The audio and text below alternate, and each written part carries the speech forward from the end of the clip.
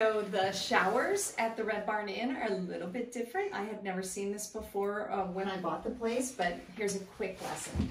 So when you want the shower, the water to come out of the shower head, you turn the water on, and then there's a ring at the bottom of the faucet, and you just hold it down until the pressure builds, and that's all. When you're done your shower, all you do is simply turn it off.